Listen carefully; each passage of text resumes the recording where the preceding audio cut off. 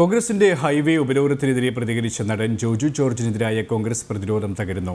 Joju George മദ്യപിച്ചിരുന്നില്ല എന്നാണ് medical report എന്ന police സംഭവത്തിൽ ഇരു വിഭാഗങ്ങളുടെയും പരാതി ലഭിച്ചതായി പോലീസ് അറിയിച്ചു.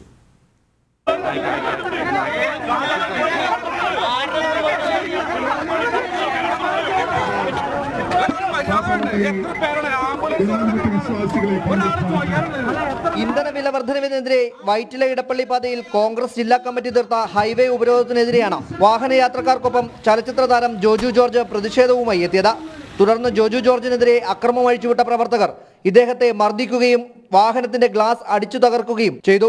ജോജു ജോർജ് മദ്യപിച്ചിരുന്നതായാണ് പ്രവർത്തകർ ആരോപിച്ചത്. തുടർന്ന് നടന്ന മെഡിക്കൽ പരിശോധനയിൽ ജോജു മദ്യപിച്ചിരുന്നില്ലെന്ന് തെളിഞ്ഞതായി പോലീസ് അറിയിച്ചു.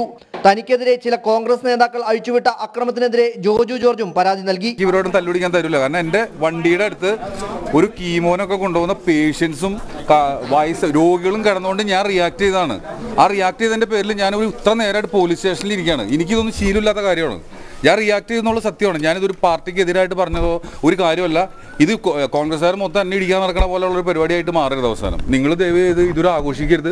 ഇത് ഇത് വെച്ചിട്ട് ഇനി ഒരു മീഡിയയിൽ വരാൻ എനിക്ക് താല്പര്യമില്ല. കാരണം എനിക്ക് ഷൈൻ ചെയ്യാൻ ഉദ്ദേശമില്ല. ഞാൻ ഷൈൻ ചെയ്യാൻ വേണ്ടിയിട്ട് തന്നെയാണ് സിനിമയിൽ വന്നത്. ഞാൻ സിനിമ നടനായി. അപ്പോൾ പിന്നെ എന്ത് ഷൈൻ ചെയ്യാൻ ഷൈൻ ചെയ്യാനാണ് പോയി. അതേസമയം ജോജു ജോർജ് പ്രതിഷേധ സമരത്തിലേക്ക് അതിക്രമിച്ചു കടന്നതായും വനിതാ നേതാക്കളോട് അപമര്യാദയെ പെരുമാറിയതായും കാണിച്ച കോൺഗ്രസ് പ്രവർത്തകരും പരാതി നൽകി. ഈ അടിവസ്ത്രം കാണിച്ച് സിനിമാ സ്റ്റൈലിലുള്ള ഡയലോഗുകളായിരുന്നു അവിടെ നടത്തിയത്.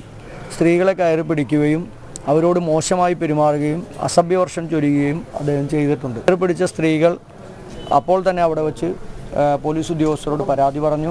ഇരുവിഭാഗത്തിന്റെയും പരാതി ലഭിച്ചതായും മൊഴിയെടുത്ത ശേഷം പരിശോധിച്ച് കേസെടുക്കുമെന്നും പോലീസ് അറിയിച്ചു. അതേസമയം ജോജു ജോർജിനെതിരെ കെ പ്രസിഡന്റ് നടത്തിയ പ്രസ്താവനയ്ക്കെതിരെ തിരക്കഥാകൃത്തും സംവിധായകനുമായ ബി ഉണ്ണികൃഷ്ണൻ രംഗത്തെത്തി. ജോജു ജോർജിനെ തെരുവുകുണ്ടെന്ന് വിളിച്ചത് പ്രതിഷേധാർഹവും വാഹനം തല്ലിത്തർത്തത് അംഗീകരിക്കാനാകുന്നതുമല്ലെന്ന് അദ്ദേഹം പറഞ്ഞു.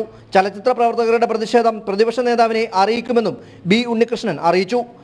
ജനം കൊച്ചി.